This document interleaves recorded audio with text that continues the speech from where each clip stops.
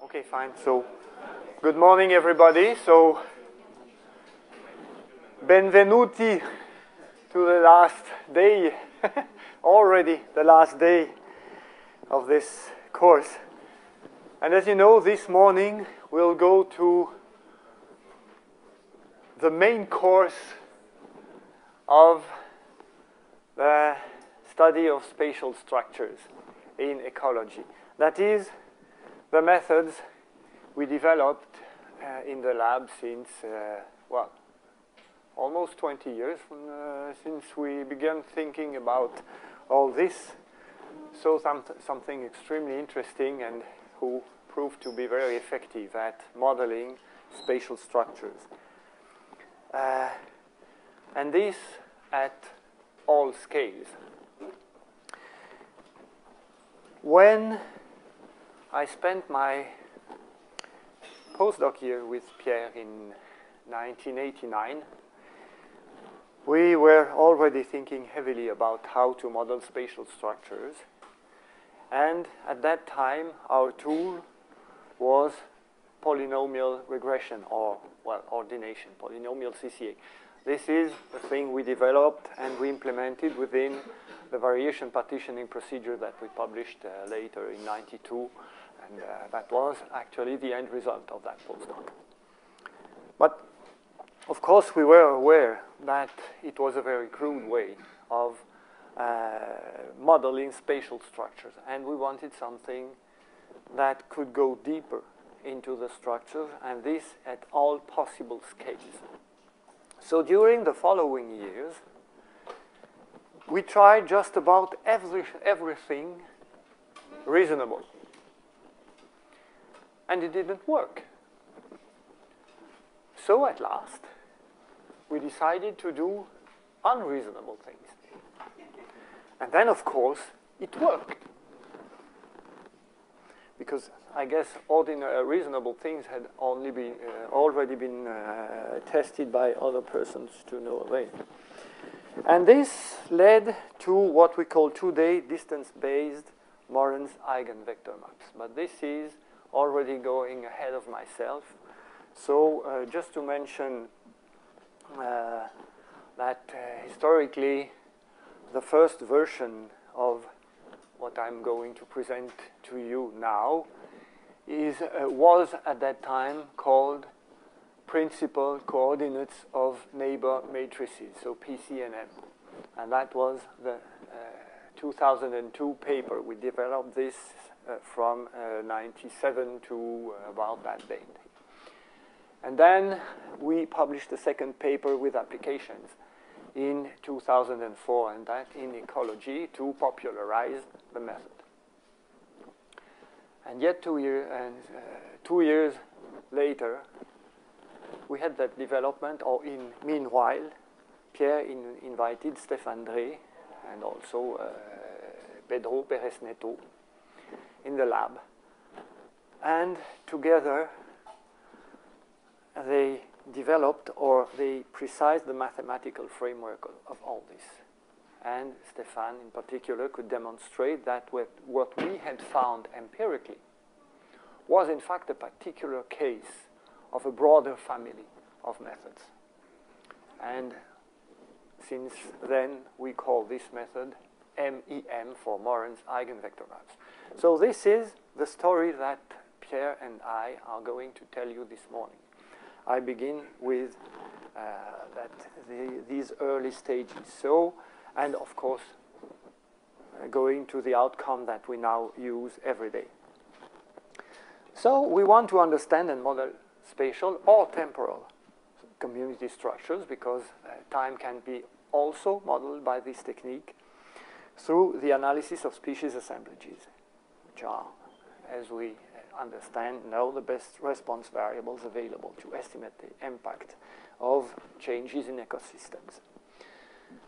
So these spatial structures, Pierre already you, gave you a talk yesterday to explain why or how they originate and why they are important. So I, I don't have to go here uh, on uh, this topic again. So now to understand the mechanisms that generate those structures, we have to integrate those structures explicitly in our, into our statistical models. Scale is important because some processes act at a global scale, others are regional, others are very local. So uh, there's no reason why all species are structures at the same scales uh, or uh, the same way across all scales. And of course, we expect that uh, a response variable can be dr driven by processes acting at different scales. So we have to find out which of those processes reflect on the spatial structures of the community at those different scales. So we need statistical methods to model spatial or temporal structures at all scales.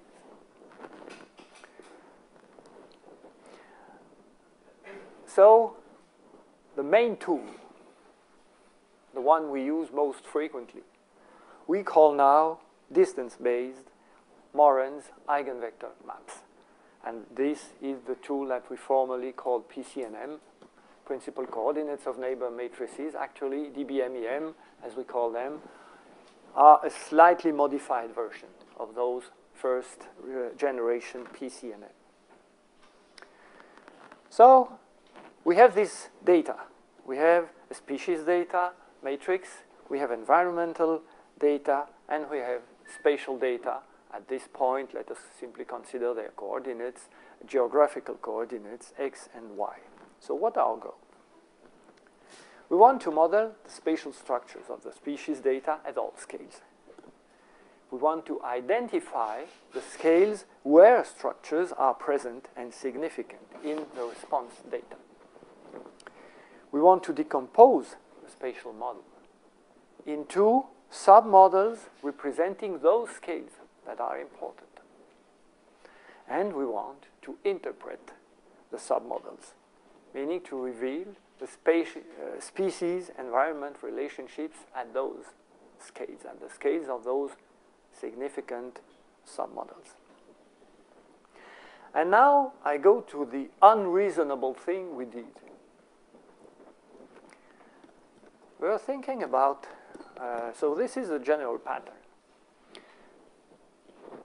In the upper left corner, you have the response variables. In this case, I have put one single variable, but of course, we apply this to our data tables uh, through RDA uh, most of the time. So here you have data that are georeferenced, meaning you know exactly where the site, where the call, the, the, the sample uh, units have been taken.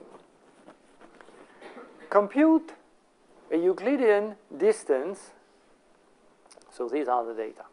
Compute a Euclidean distance among sites, among the geographical locations of your sites. So in this simple univariate case where you have one uh, transect, uh, this would look, uh, if it's equispaced, it would look like something like this, the, uh, the matrix of Euclidean distance. So, so, this is the upper triangular, triangular matrix here, where you have a distance of 1 between uh, the sites that are closest to one another, uh, of 2, or the second closest, and so on. And now the, the idea was to say, well, what we, we first want is to identify the spatial structures at the first level, meaning closest. So for the closest neighbors, the nearest neighbors. Hence, the idea to truncate, to truncate this Euclidean distance matrix to retain only the first neighbor relationships. And this, after that, of course, you have to fill up your matrix with something. And after months of empirical trials, we found out that if we fill this matrix with values equal to four times the maximum value that was retained, meaning in this case it would be 4 times 1 equal 4. But in other cases with irregular samplings or two-dimensional samplings and, uh, or any, anything you want, you, you simply truncate the matrix to uh, limit, and then you fill up your uh, distance matrix, your matrix of ge geographical distances, with four times that maximum value. Before I go ahead, be reassured you won't have to do this by hand. Of course, we have now functions that do that for you automatically. And uh, believe me, when I did the simulations for that, each of those trials, before I uh, put up the Fortran code at that time, it was Fortran code to run the real simulations, thousands of things and so on, I had to go through, I don't exactly remember how many steps uh, implying how many computer programs to be able just to do what I'm showing you now, to you now. I think it was something like uh, three to five different programs. So that I, have, I had to go back and forth and do this. Now we can do this even if you don't have the, the, uh, uh, the functions, the ready-made functions to do it. You could do it in a couple of lines of R code. But at that time, we didn't have R. Okay, so now we have a matrix that has been completely deformed. I mean, just the first neighbor relationships have been retained up to a certain distance. And everything else had been filled up with four times that maximum distance. This is a new matrix that is not at all Euclidean. And for, uh, of course, now since we had the information in the form we wanted it, we could not resort to any square rooting or whatever. Any, anything, even square rooting that uh, doesn't make it uh, Euclidean and uh, no other possibility was available there. So, after that, we still have another step to go through to be able to use the result as the necessary spatial information needed for canonical analysis. And that step is principal coordinate analysis. And when you have a dissimilarity matrix and you want to have its components, then you run it through principal coordinate analysis. And this is what we did, obtaining, well, I'm here, uh, obtaining here, as expected, positive eigenvalues and one zero and a couple of negative eigenvalues. The first time we tried this, we were hoping to get some information about one specific scale of relationships among the sides of spatial relationships, meaning the one uh, relating the closest neighbors to one another.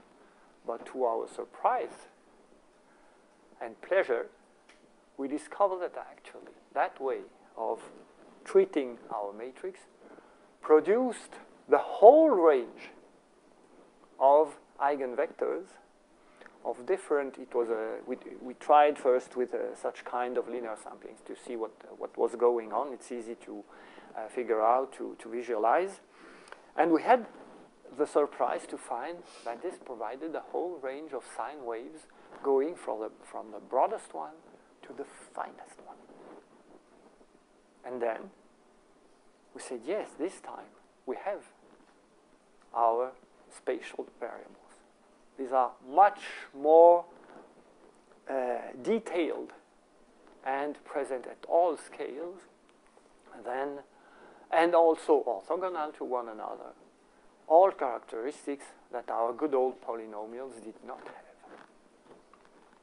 And then, of course, we applied multiple regression or uh, RDA, uh, CCA as well at that time. So what I've just explained now are the PCNM. So principal coordinates of neighbor matrices. Now you see why it is called that way. You have a matrix of neighboring relationships, so the distance among sides up to a certain limit, and then everything else replaced by an arbitrarily large value. Why did we replace it by four times the largest value? because it levels out. At that uh, from if you uh, only one time uh, simply repeated the largest, it gave some results, and twice the largest, it gave other results, and three times, four times, yet uh, uh, slightly different results. But from that point on, five or ten times gave the same results essentially. So uh, since it leveled out, we stopped at this point. by the way. Couple of years later, Stéphane Dray also explained mathematically how it behaved like, like that. In any case, this is not important here. Uh, but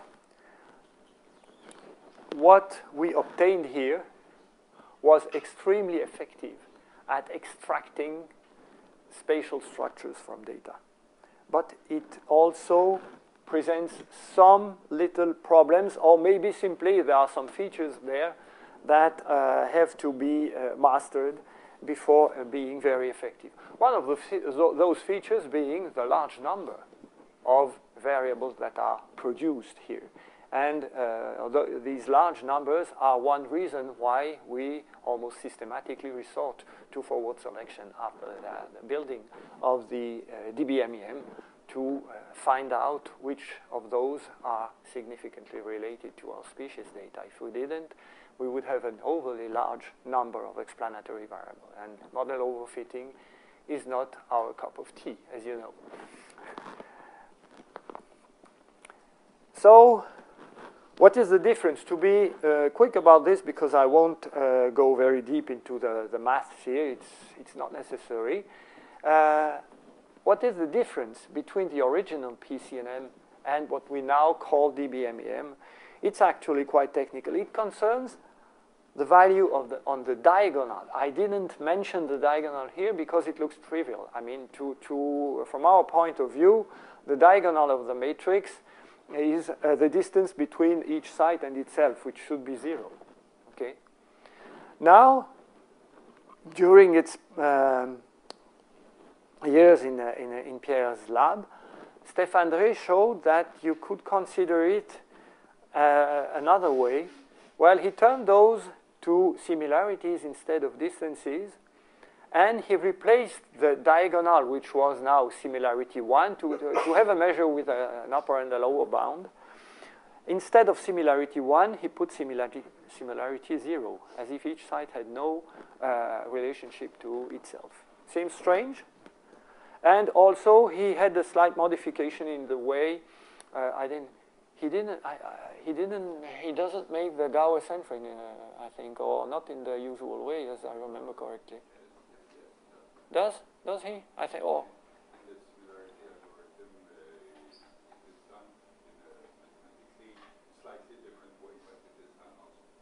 Oh, the way is different, but the result is about the same, or something like that. There is a difference. Okay, so, so uh, because. Okay, so. Ah, oh, didn't look up the math, the detail. Anyway, uh, uh, the main thing here is that using those slight tricks, he managed to obtain very slightly different things. Well, I, actually, they are completely the same.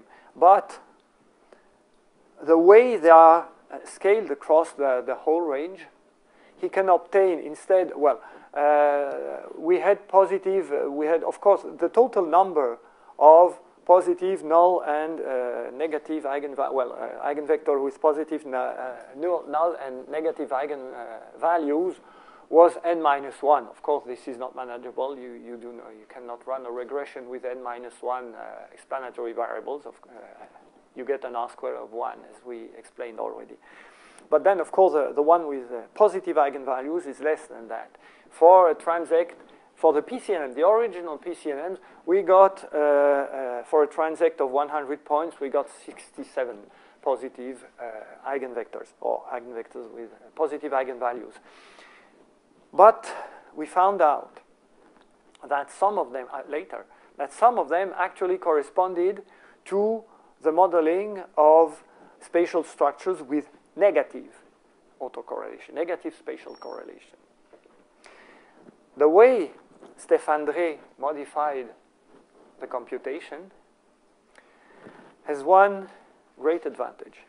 It makes the eigenvalues of all those eigenvectors, of all those PCNM, now DBMEM, exactly proportional to their respective Morans I, so the index of spatial correlation. Meaning that just from those eigenvalues, you see whether they model positive or negative autocorrelation. So actually, that corresponding to a decrease of the number of positive uh, eigenvectors or real eigenvectors because uh, of that property. Furthermore, I should have said uh, only uh, eigenvectors with positive eigenvalues and so on. Furthermore, all this is actually translated to, to a situation where all eigenvectors are real. So we have real eigenvectors modeling uh, positive spatial correlation, and we have real eigenvectors uh, modeling negative eigenvectors. That was something very handy.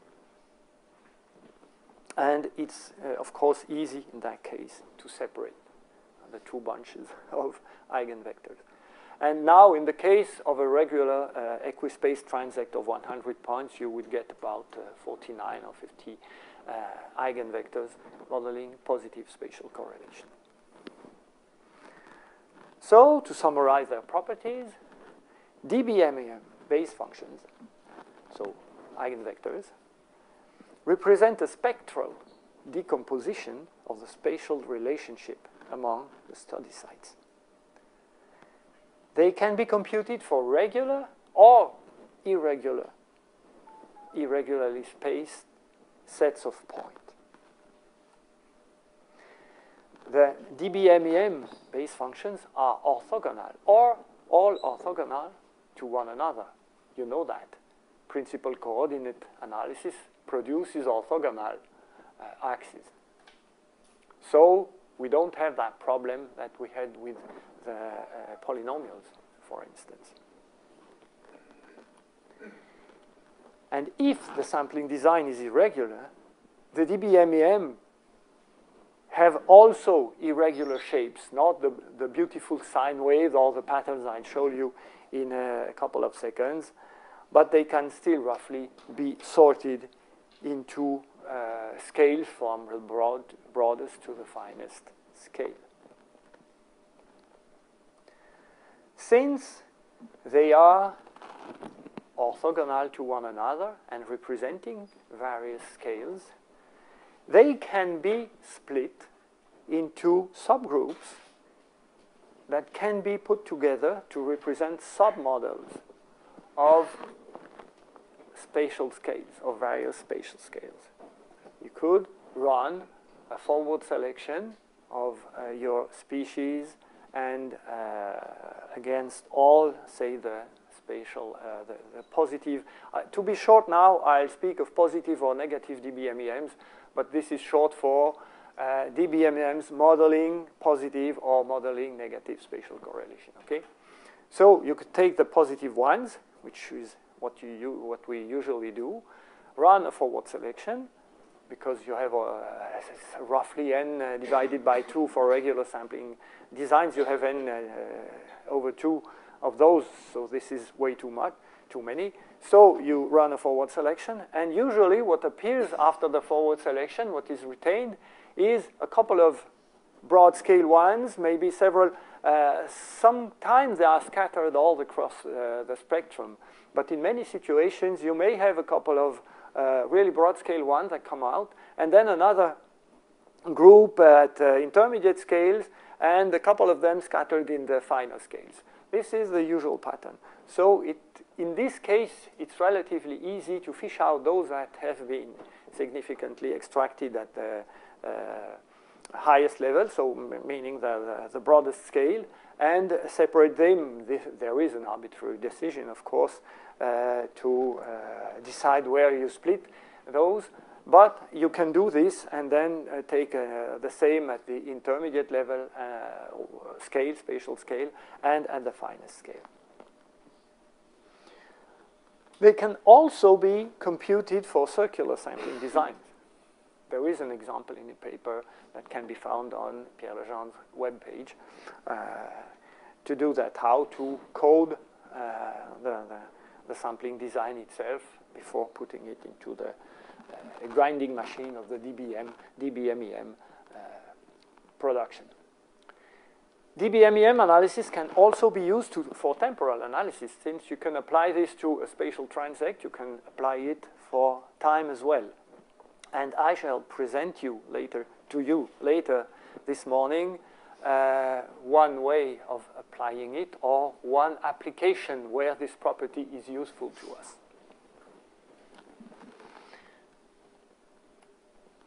So this is how they look like for those DBMEM for a regularly spaced transect of 100 points.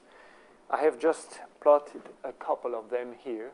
So the, you, you have uh, the, the numbers. So this is the first, this is the second, fourth, 8, 15, 20, 30, and 40. You see, uh, actually, here, for those 100 points, we get 49 orthogonal DBMEM, uh, positive DBMEM. So you see that really this captures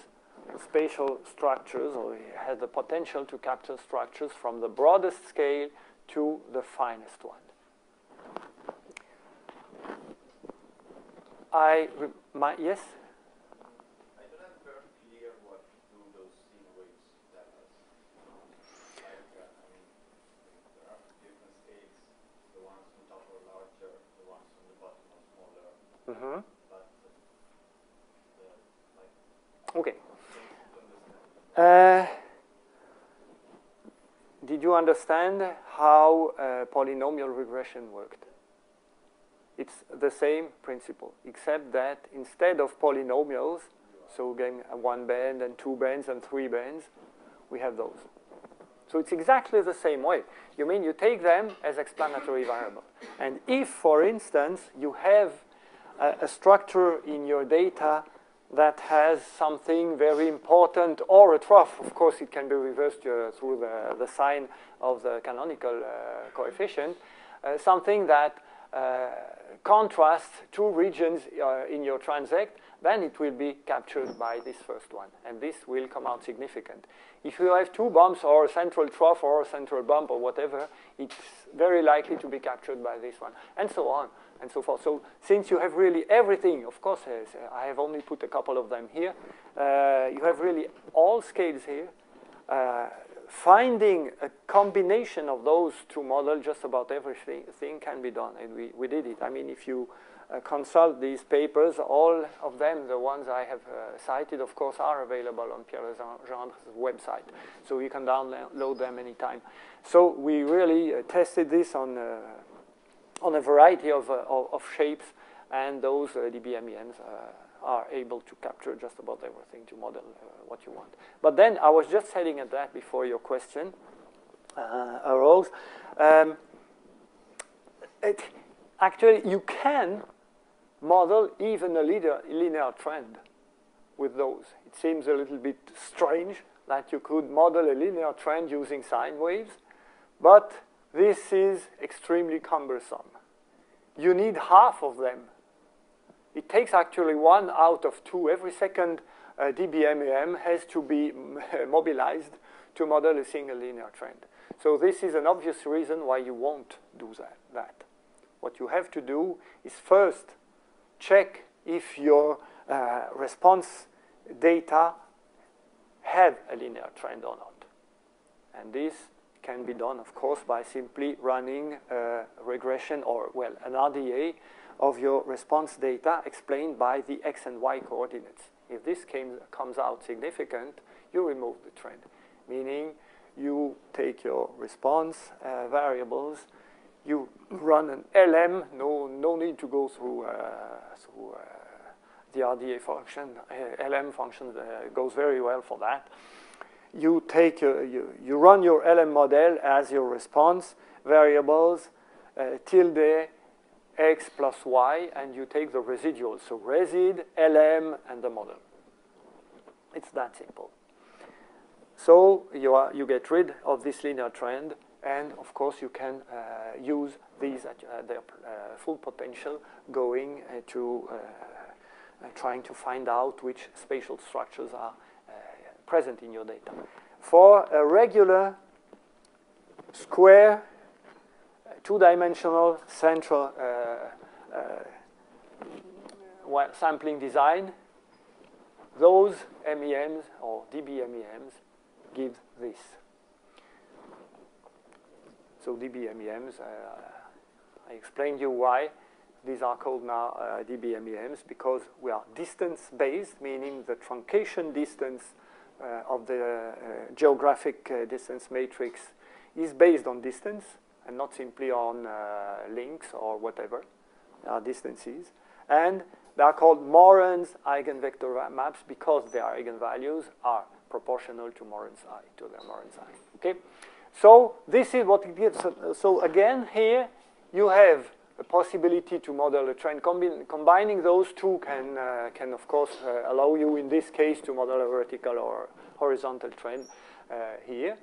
And uh, again, the, the, the two-dimensional equivalent of those sine waves I showed you in the previous slide here. So in this case, I have 400 points on uh, each of those maps, and I get a little less than 200 orthogonal DBMEM modeling spa uh, positive spatial correlation. Uh, in general cases, we restrict the analysis to the uh, positive DBMEM because it's rare that the negative ones allow us to find something interpretable.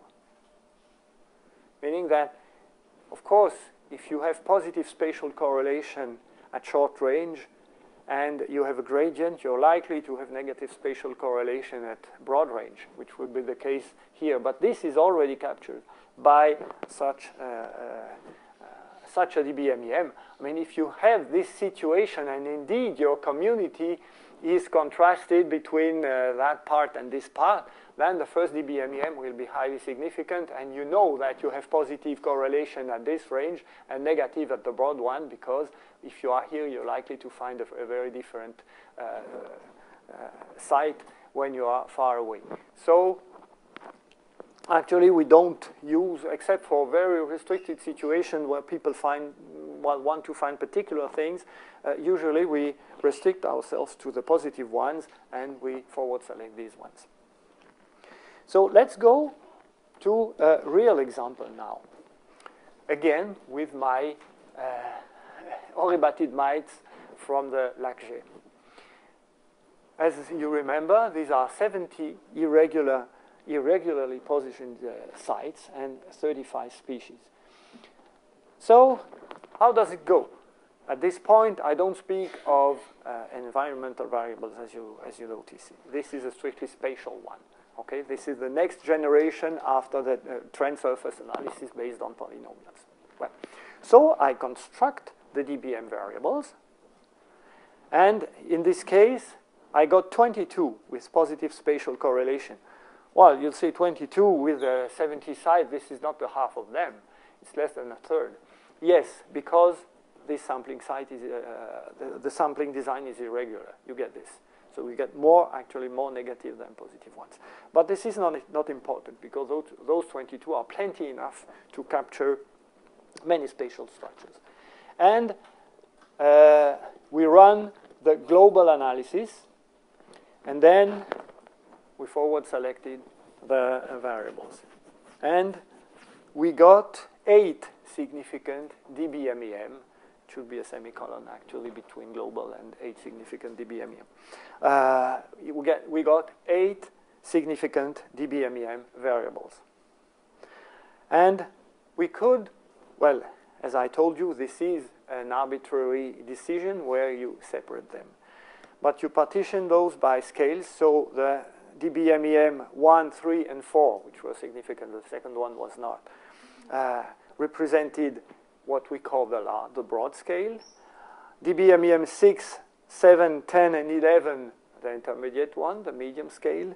And then we had that DBMEM number 20, just alone uh, in its corner, modeling fine-scale structure that came out significant, and this one was considered as a representative of fine-scale structures. And we separate the DBMEM uh, analysis by scale. So we run, after that, we can run separate RDAs using these three groups.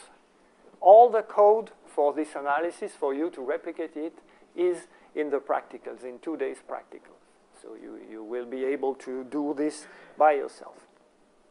So this first figure here actually represents the DBMEMs themselves. So this is not the analysis of the oribatid mites, it's simply the spatial variables, equivalent to those uh, carpet-like uh, structures I showed you uh, two slides earlier. Okay, so this is what I obtained for the oribatid mites. So this is strictly, uh, these are our tools, okay? Our explanatory variables. So the, see, as you see, the first one contrasts two groups of sites here, up here, the black ones, and uh, here, still uh, in the upper half of the transect, the large white ones. And uh, the rest of them down there have very uh, values very close to zero. Yes, to interpret this, it simply means that you have uh, uh, large positive values in black and, well, positive values in black, negatives in white, or the reverse, I don't remember, this is important. And as a Swiss, I tend to see the black uh, values as the down and the negative, and uh, the, the, the, white values as, uh, as positive because I usually see the snow in the cap of the mountains and not down in the valleys, you see. you get my point? Okay, so this is unimportant as you know, uh, the, the signs are arbitrary. So, okay, though, so we have one that clearly contrasts two regions here.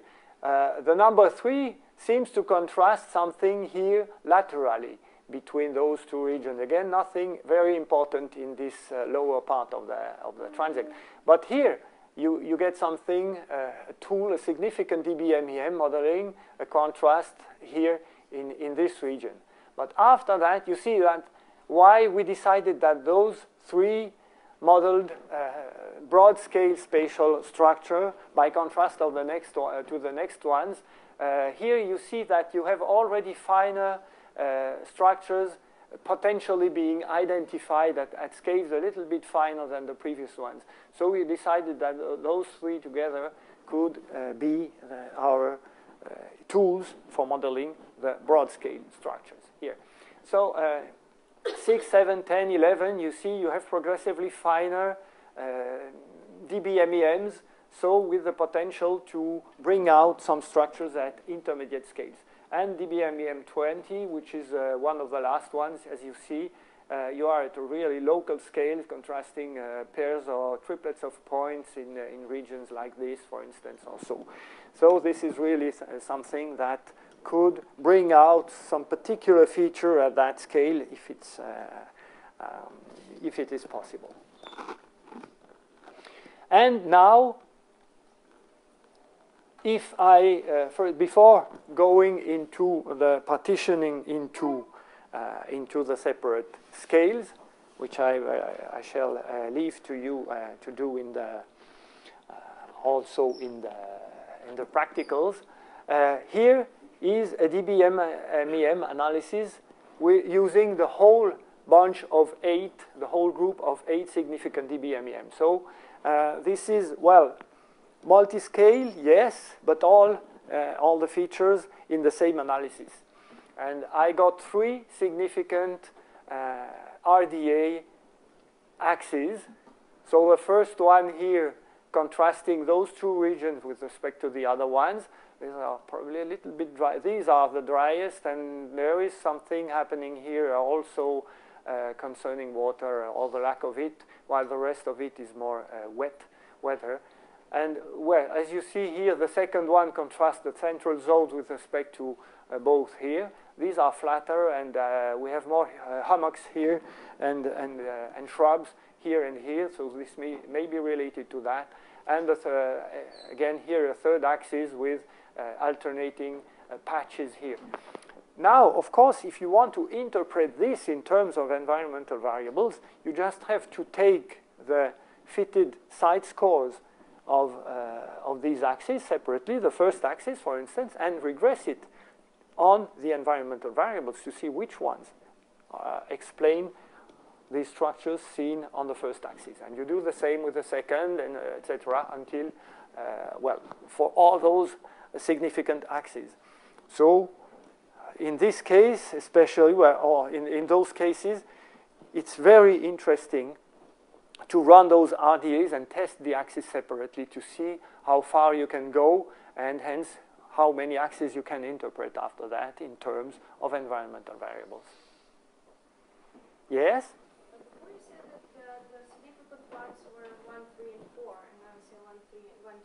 Okay. Is there something I'm missing? What I was saying is that the tools, the DBMEMs themselves, meaning the spatial variables, which have been built by principal coordinates of neighbor matrices, those are number one, three, four, uh, etc., six, six, seven, uh, ten. But now what I have done is that I have taken these eight significant DBMEMs and I have, uh, the, these have been constructed, uh, those tools have been, those DBMEMs have been constructed without the intervention of the oribatid mice. But then I, uh, I forward selected them and I obtained those eight, so one, three, four, and so on. Okay?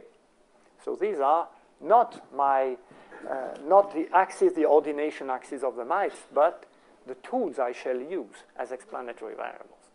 So now I have run the RDA using those as my X matrix with the oribatid mites as my Y matrix, uh, Hellinger transform, and I got those three, so the first three axi uh, RDA axes are significant. Yes, Pierre, you had a, a remark.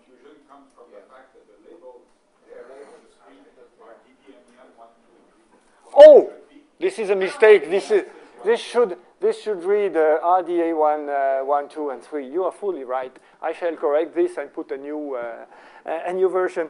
Wah, of course. Sorry. Yes, so this is my fault. Definitely. Mm -hmm. No, this is uh, RDA axis 1, 2, and 3. Okay, uh, yes, I had detrended the mite uh, data beforehand because there was indeed a linear trend present. so uh, I did as you as I uh, recommended you to do. it. This is what I obtained, and now I have nothing to correct here because nothing is written, but I may just as well add it. So this is RDA 1 and 2 of uh, another RDA run this time only with the three uh, DBMEMs modeling broad scale spatial structures. Okay, so we are coarser here. We just focus on those broad scale spatial structures. And I get those two models here that, again, I can regress, so the fitted side scores, regress on the environmental variables to see what they explain. There are details about this in the, in the book as well, of course. Although I think in the book they are still uh, done with uh, the first generation PCNM, but it does make a lot of difference. And uh, this is, again, uh, uh, another, so this time we are really, we have separated the scale. So this is broad spatial scale. This is intermediate spatial scale, meaning I have run the, the RDA using uh, only the four DBMEMs uh, of uh, intermediate scale, so 6 to 11, those uh, that are significant in this group, here to uh, use. And again, here I have obtained two significant RDA axes, so this is the result. And again, I could regress this on the environmental variables to explain those structures to see uh, what are the, uh, the, the, the environmental forcing that determines it. And maybe I find them and maybe I won't, and this would be the occasion to think about what could have generated a part of these structures if my uh, environmental variables did not. Uh, maybe I have missed a couple of them, which is very possible in this case, or maybe other processes may have generated some of these structures. And actually, I don't show you the result of the finest scale analysis because it appeared when you isolated that 20th variable from the rest of them, you get a non-significant result. Uh, this happens sometimes. So actually you have some kind of a, uh, an effect of the, the fact that you have common, uh, commonly used a couple of variables. Some are facilitated by the presence of the others, and obviously this is what happened with, uh, with that one. Okay, so see practicals for the interpretation, uh, because everything, the material is there, you just have to go through it to my, uh, my script, my today's script of practicals to see that. Now, this still may seem a little bit complicated for people who four days ago had never heard of anything like the, uh, the stuff we are explaining to you. Fortunately, I have a heart, and I think I, I, I, have a consideration for users. And so the idea came in my mind to program a thing that, uh, a function that first, uh, what first called quick PCNM, and that I have now reprogrammed a couple of uh, weeks ago to become uh, quick, D uh, quick MEM. I didn't put the DB because that, it's beginning to make too many letters. So quick MEM. So with at the price of one single uh, command, R command, a kind of uh, result, uh, quick MEM, uh, let's say mite.h, just to remind you that it has been Hellinger transformed and mite dot xy for the xy coordinates. You do this, and you wait. and you don't wait for a long time at that, because my function does this. You have it, so uh, for people who want to see how it is programmed, it's very transparent. You see all the steps. First, it takes the data and it tests if there is a a significant trend. If it finds one, it retrends the data, and it goes on. After that, it computes the DBMEM eigenfunctions and retains those with positive Moran's I, so positive spatial correlation. It first runs and tests an RDA of the species with, with all the DBMEM, and it tests it. If it's not significant, okay, it stops there. It means that you have no spatial, significant spatial structure in your data, so no need to continue. It stops there uh, with, a, with a message. If it is significant, it continues. It runs a forward selection of the DBMEM with the Blanchet et al. Uh, uh, at co-authors double stopping criterion. So it takes the adjusted R square of the global um, of the global RDA that has been obtained here. Uh, it, it, has uh, memorized uh, the R square, the, the, the, the, adjusted R square. And of course, the double stopping criteria uh, is uh, the second uh, or the usual one is the alpha level of rejection. So it runs it automatically. When it has selected some variables, it runs a new RDA with the DBME, with the significant DBMEM. And it, it tests the RDA with those ones, and specifically it tests the axes to see how many of those axes are significant. And point seven, it draws the maps, like the ones I showed you. It draws them automatically and presents them to you. And the output object here, this one, contains all the results. So you have the detailed results of the RDAs, you have the details of the forward selection, and uh, everything and uh, the whole thing. Again, the only thing to do for you is this. Isn't that cute? so it's just there are just two things it doesn't do. The first one is splitting uh, the significant DBMEM into submodels because this implies an arbitrary decision that you have to make. So you have to go to the detailed results if you want to do this, and you see that uh, these and these Well, it, it gives already a couple of results on screen, I mean, but on top of that, all the results are in the object. But uh, for the rest of it, you have, if you want to split your significant DBMEM into submodels, you have to do it by hand and then rerun the RDAs because, of course, the DBMEMs themselves are here. Actually, there are even two objects containing them, one con containing the complete set of DBMEMs in case you would use, it, uh, use them in another uh, situation for the same uh, set of sites, and another subset of them, the, one, the subset of uh, DBMEMs that are significant, I have already put in another, uh, uh, in another object, so you don't even have to uh, go through the process of sorting them out a second time. It's already done for you. And the second thing it doesn't do is uh, get a coffee for you. So unfortunately, I didn't find the command. Okay, I will work with this, uh, the, uh, this PowerPoint presentation for which you have the PDF, and I will start with slide number 35 because the, the first uh, 34 slides uh, uh, are presentation of what Daniel just uh, presented in some other way with some other examples. So if you want to see other examples, there are at least three example data sets that are treated in my first 34 slides. But I will start the story uh, at, the, at this point where Stéphane Dray was in our lab. Yes, that's the picture of Stéphane Dray. As you know, he is now uh, the researcher in charge of ADE4, adegenet, ADE Graphics, ADE Spatial in uh, Lyon. but uh, then when he was in uh, our lab, as uh, Daniel has described, I asked him to look into the, the method that we then called PCNM analysis and try to put it in a formal mathematical framework. And then he played with the former PCNMs in all sorts of ways.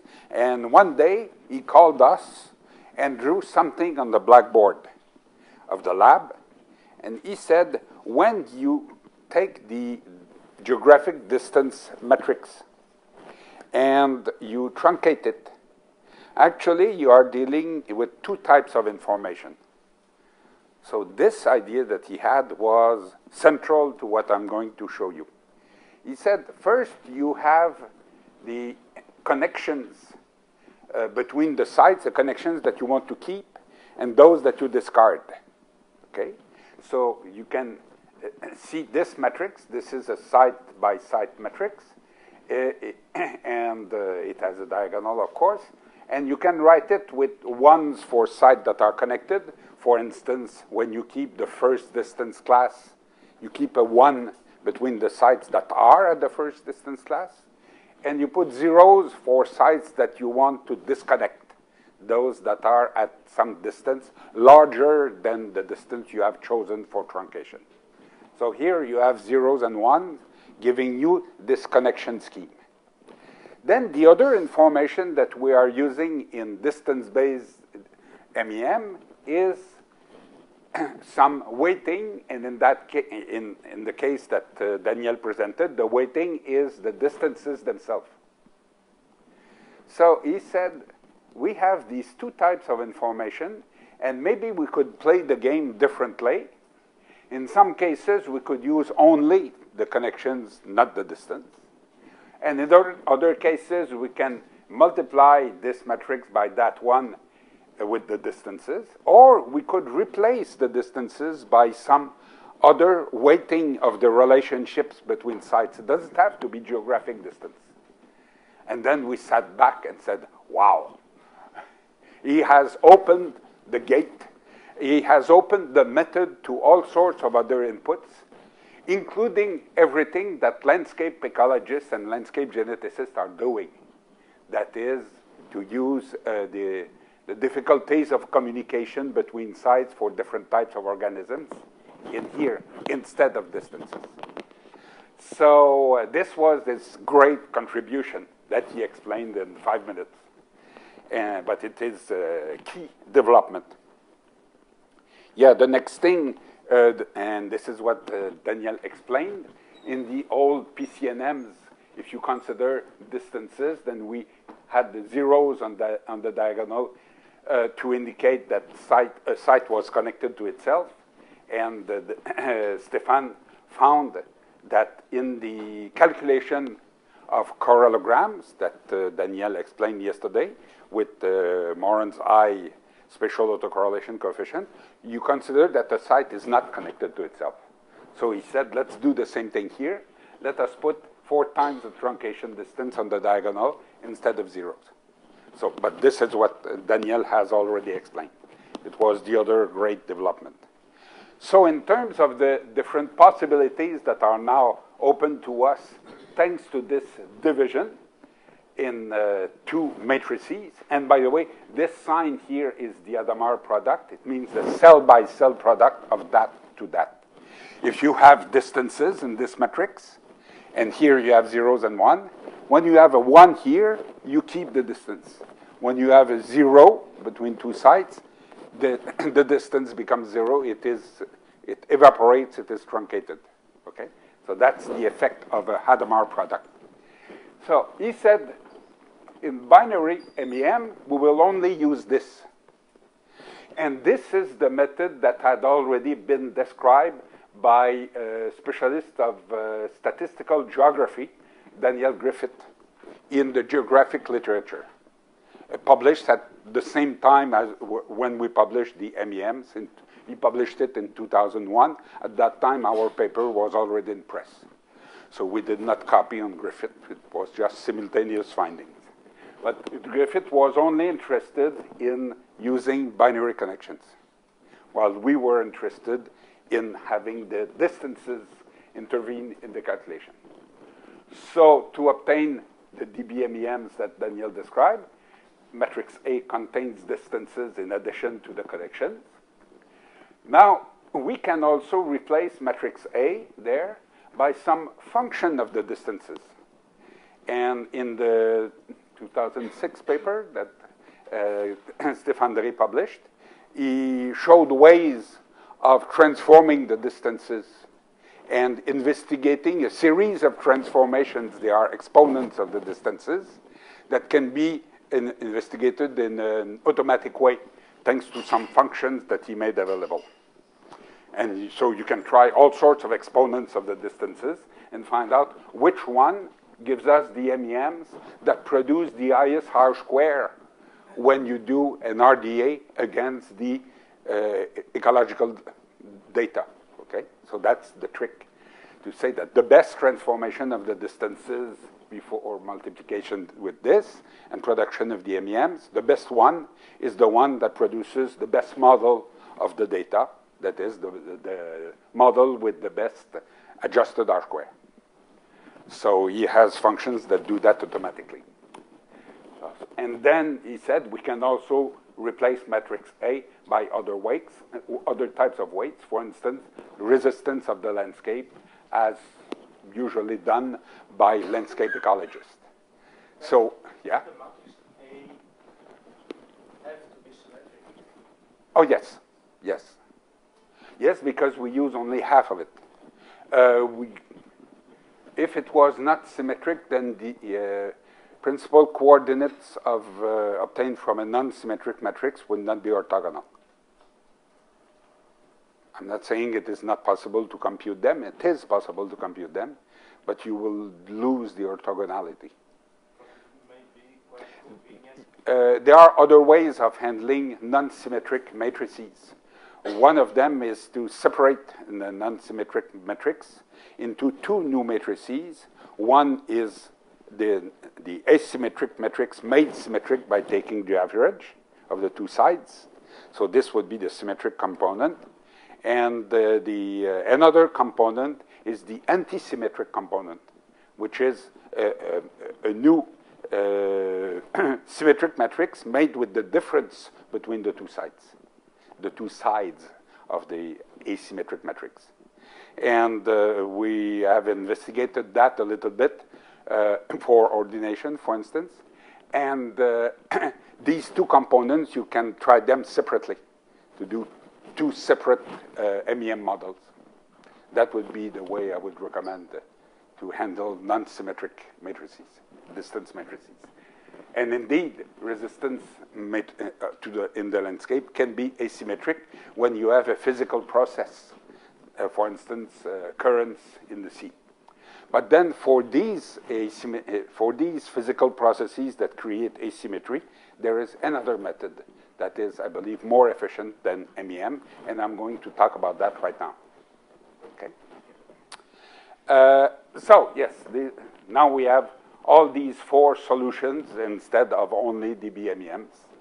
And in the new ADE spatial package, there is an MEM function separate from the DBMEM function that allows you to do these other combinations uh, to the price of greater, a, a, bit more complexity. You don't have a quick MEM function.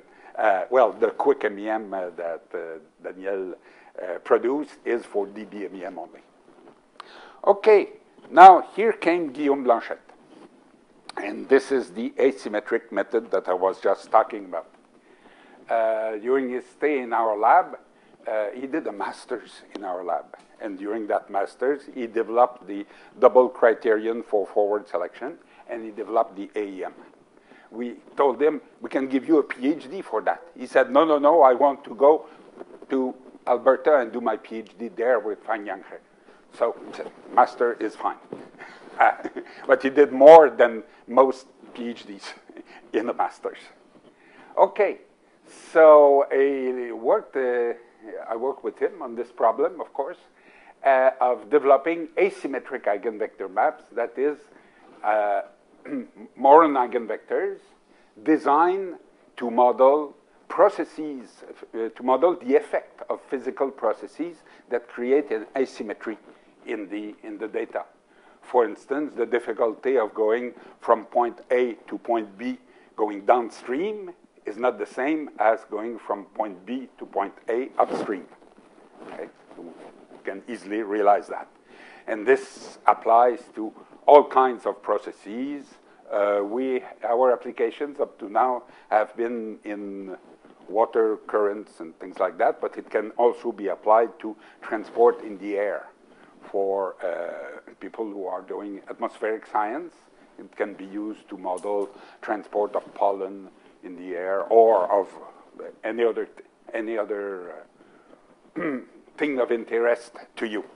So uh, again, with uh, Guillaume, we spent two years trying uh, everything in the book.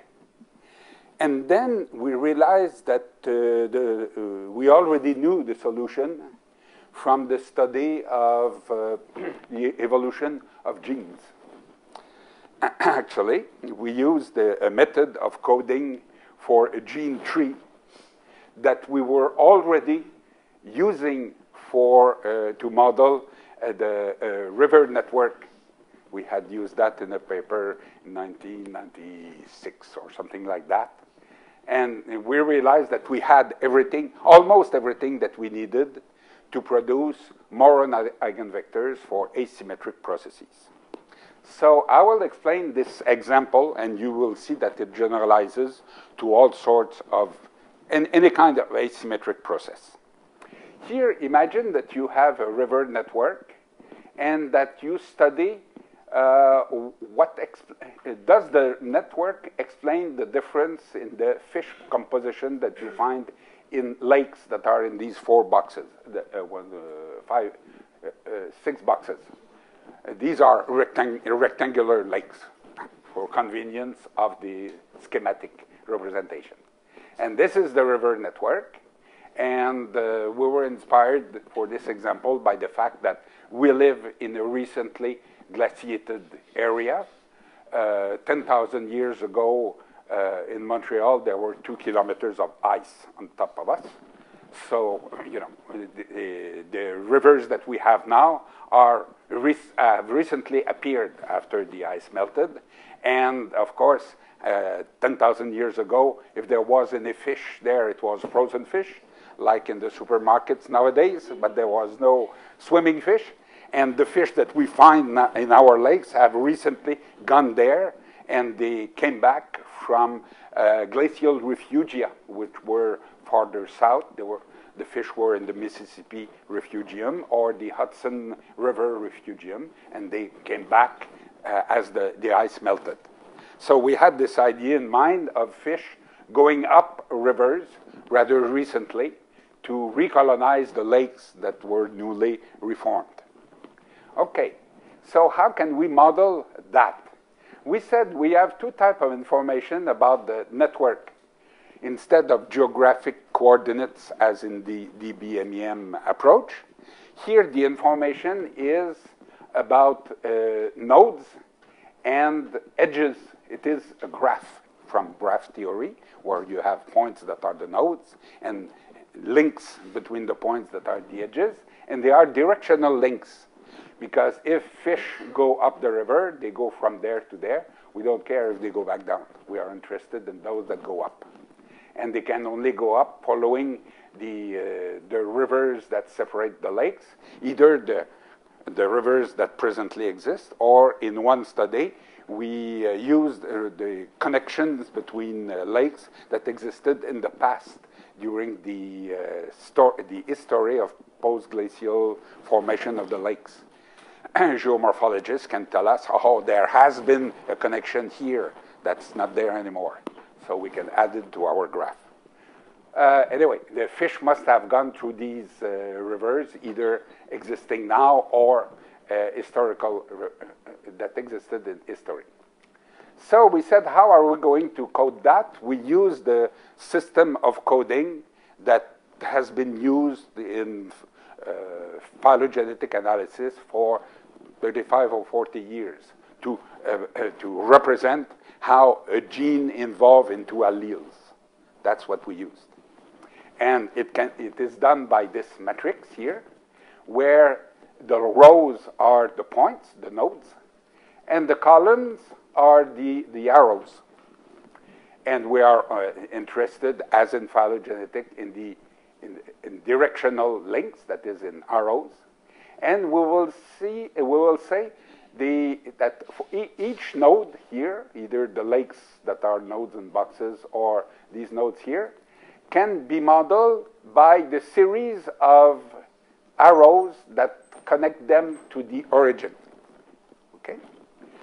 So, uh, for instance, uh, lake number N8 here, lake, this, this lake, the fifth lake, is connected to the origin by edge number 2, number 5, number 8.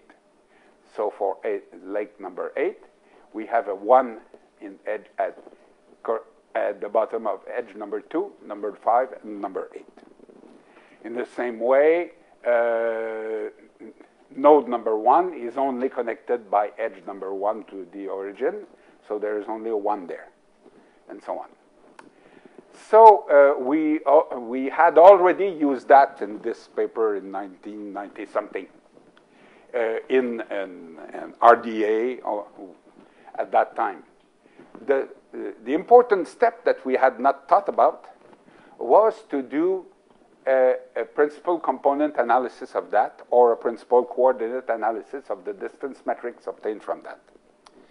But now we knew from the uh, DBMEM construction that we have to go through a distance matrix, get the eigenvectors, and these are representing the various scales. We said, let's try that with this matrix, but it is even more simple because we can simply do a principal component analysis of that so PCA, and another method of calculation to obtain the PCA. And you, you may remember that PCA is first calculation of a matrix of covariance, then uh, eigen, eigenvalues, eigenvectors. But you can obtain the exact same result by doing another type of decomposition that I did not describe in this course, that is called singular value decomposition. So this is what we currently do for, uh, in uh, our program when we produce AEMs, we do SVD of that matrix. And it produces all the eigenvectors we need immediately. And uh, there is a diagonal matrix containing the squares of the eigenvalues. Okay, so it is very easy to compute it. Or we could compute the distance matrix here Euclidean distance of that and do principal coordinate analysis, and we would again obtain the same thing. So three different methods of calculation to obtain the uh, asymmetric eigenvector maps. And I will now show you that these things, these eigenvectors, they, they represent the different scales. And of course, after we have constructed them, we will use them to analyze the response data in exactly the same way as Daniel described. That is, we may uh, uh, take all those that model positive spatial correlation and use them together in an RDA model. We can uh, compute the uh, adjusted R square of the full model and then do forward selection using this, the first adjusted R square as ceiling in the selection of the AEMs. Uh, we can then obtain the R square, uh, yeah, this adjusted R square for submodels after cut, dividing the retained AEMs into submodels. We can produce maps and so on. And we do exactly all the things that we were described before. But this is, is well designed for to study the results of asymmetric physical processes. Now I'll show you the AEMs obtained for this network here. This is my uh, exemplary network. Here they are. So I drew the AEMs as shades of gray uh, on the network of the river system. Okay? Uh, so this uh, gray here would be uh, zero value. Let's say that, well, following uh, the uh, Swiss mountain paradigm, this would be high positive value, the top of a mountain, white and this would be uh, deep in the valley, black, okay, negative values. So we see that AEM number one divides the network into a left node uh, with positive values and a right-hand node with negative values, right? So you see the asymmetry immediately in the process, uh, originating from node zero that has the value zero.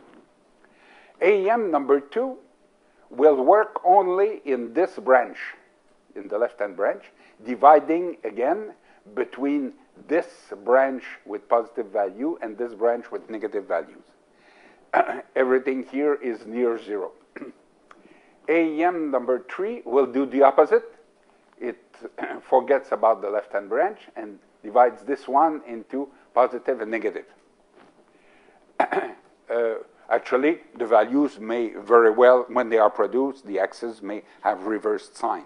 As we discussed before, it happens uh, by chance. Uh, well, by the chance of the algorithm and the way the algorithm is interpreted by your specific computer.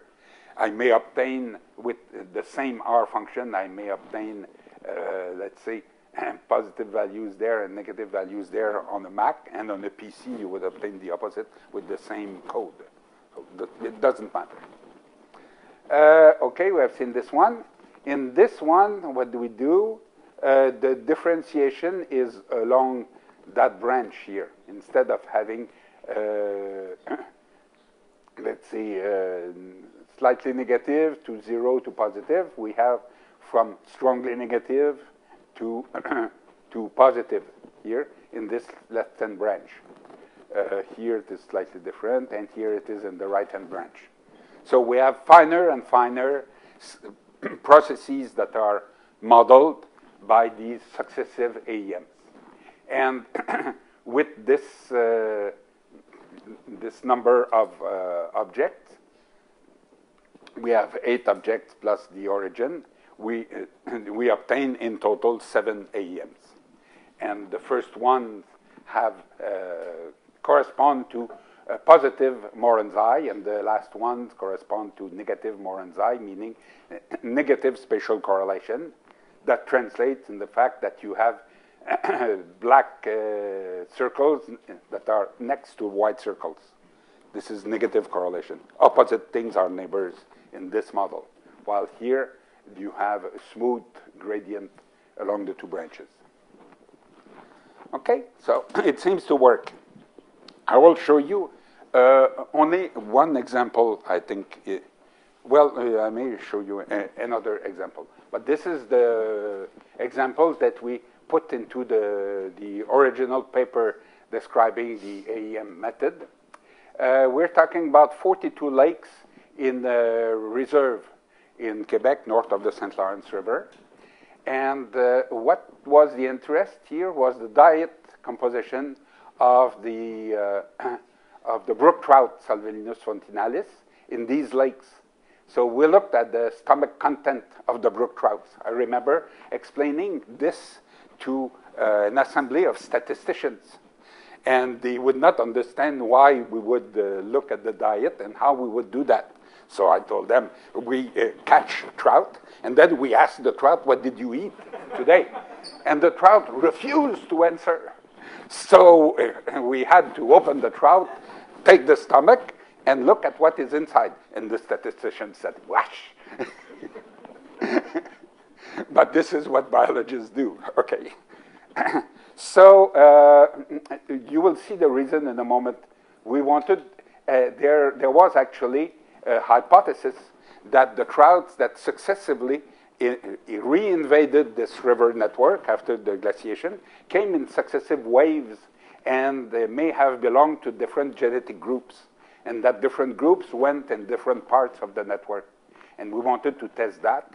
And the opposite idea was that fishermen may have carried small trouts that they caught in one lake uh, and use as bait and then they went to another lake and uh, threw them in the lake at the end. So transferred the genetic stocks from lake to lake and obliterated the, that signal. So we will see how it comes out. This is a schematic of the said river network. St. Lawrence River is something somewhere at the bottom there. And the, the, the trouts may, that we find now in the lakes that are the dots they uh, uh, all came through this route. And at each intersection, uh, some group of trout may have decided to go left, and another group may have decided to go right, depending on water levels, the smell that uh, uh, came with the water coming from there or from there that attracted them, and so on. So trouts have their own ways of deciding if they go left or right when they go up in a river like that, same thing in the sea. Okay, so the, the, all the black dots are the lakes from which trout had been caught, and we coded this network. Uh, we coded it by hand, with uh, the rows being the, the lakes, and the, columns being the edges like this. Uh, we had the choice, oh yes, I did not mention that. Uh, here, you can add weights if you want to these zeros and ones. If you think that the distance is important and relevant, you can multiply each of these, uh, of these columns by the distance that it represents. But in the case of these fish, we said, well, if the segment is half a kilometer long or two kilometers long, for a trout, it doesn't matter. Even I can swim a kilometer. So imagine a trout. so, it, uh, so in this example, we did we coded uh, the edges only with zeros and one because we thought that distances were irrelevant.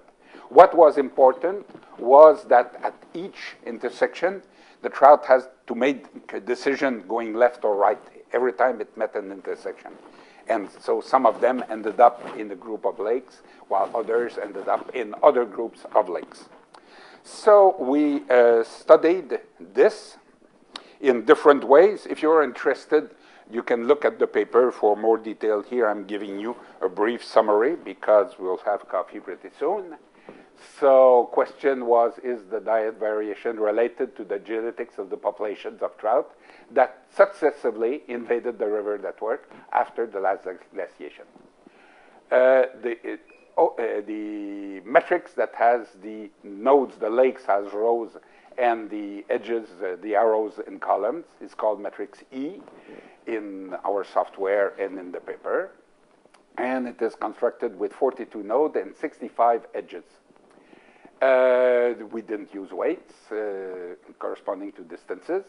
Uh, everything is in that paper, table two. The, the, results that I'm going to show you in summary here, because we tried all sorts of ways of doing the calculation. uh, we compared in particular the AEM method that I just described to distance-based MEM. Distance-based corresponding to the distance between the lakes in the network. And for instance, this lake is very close to that one. But along the network, it is very far because this lake is in this branch, while that lake is in that other branch. So this is a good situation because of the folding of the river network to where we should have a clear signature of whether it is the network that is important or the geographic distance whereby fishermen may have carried trout. Uh, I mean, going to fish in this lake in the morning, taking small trout, carrying them there in the afternoon after they have a, their picnic. This is a short distance.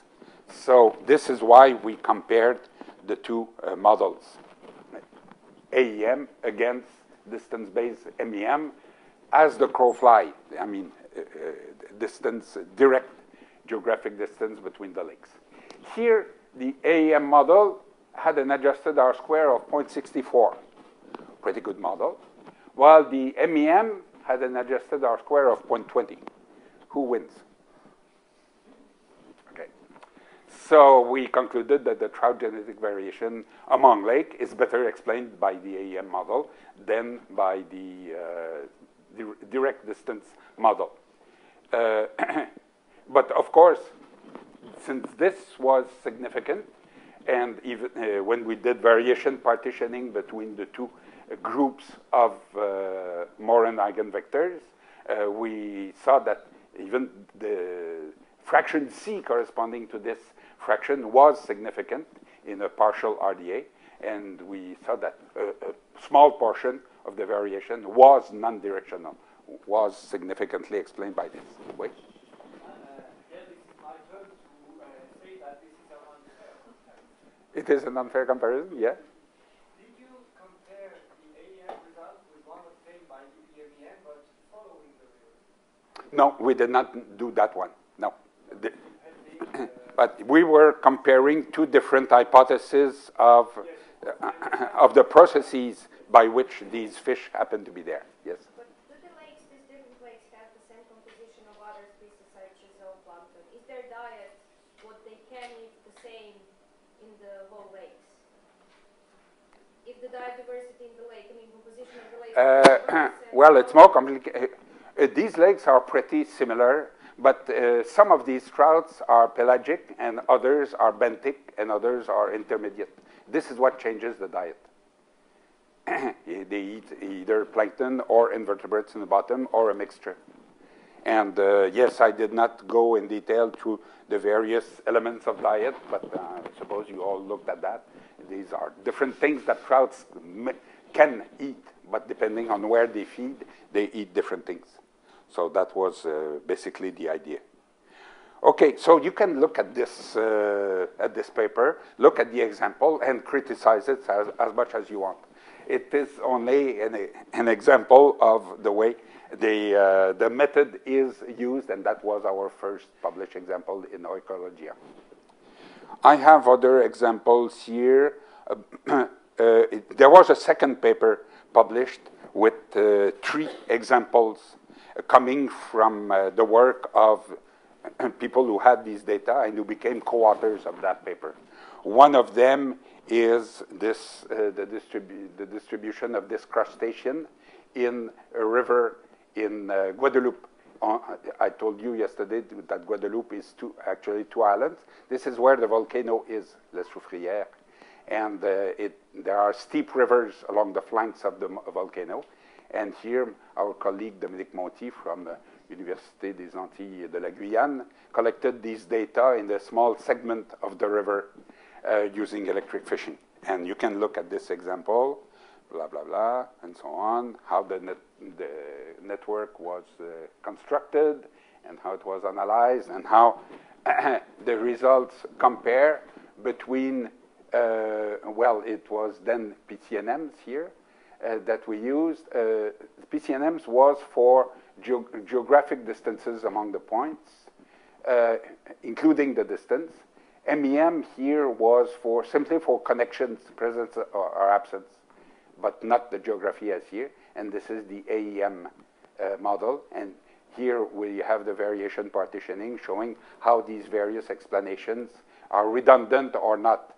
This one and that one, that is this and that, are very redundant, but the AEM explains a portion that the uh, MEM models do not explain in that case.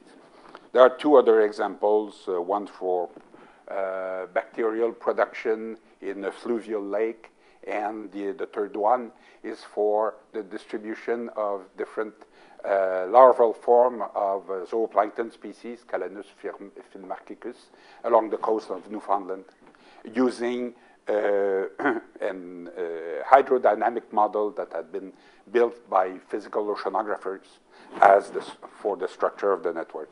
So these three examples may be of interest to you, and all that was published in this second paper. Uh, let's, where is it? No, not that one. Uh, anyway, a second paper published, I think, in 2010. Yeah. This slide simply shows that for a time series that represents a directional process, of course, then we can use the AEM to model a time series.